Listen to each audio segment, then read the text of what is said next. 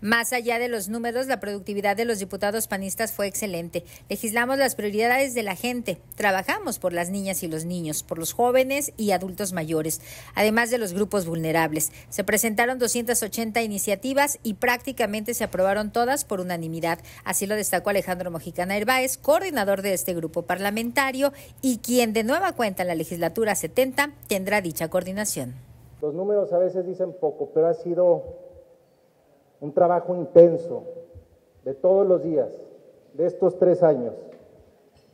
Se presentaron 280 iniciativas y decir que se llevó el proceso legislativo, que se llevaron, se debatieron en las comisiones y se aprobaron después prácticamente todas por unanimidad en el Pleno, pues dice mucho del trabajo y los resultados que está entregando el día de hoy a la ciudadanía el grupo parlamentario de Acción Nacional. De las 280 iniciativas presentadas, 160 ya son parte de nuestro marco normativo, de nuestra legislación.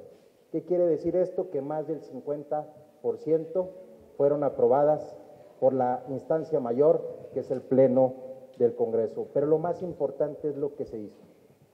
Siempre tuvimos en mente estar cercanos a la sociedad llevar la voz y la inquietud, la problemática, las oportunidades y posibilidades de los duranguenses a las iniciativas y al presupuesto.